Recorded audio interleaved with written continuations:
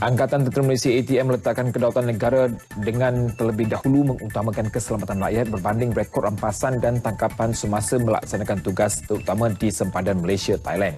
Panglima Medan Barat Tentera Darat Lieutenant General Dato' Azizan Muhammad Delin berkata anggota yang ditugaskan mengawal sempadan negara tidak seharusnya melihat jumlah rekod tangkapan dan rampasan sebagai kayu ukuran kejayaan mereka ketika bertugas.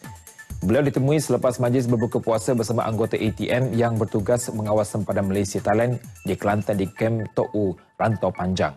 Dari dahulu, Datuk Azizan meninjau empat pos tentera di kawasan tersebut iaitu Pos Ular dan Pos Kuala Jambung di Tumpat serta Pos Ibrahim Pencin dan Pos Jeram Perdah.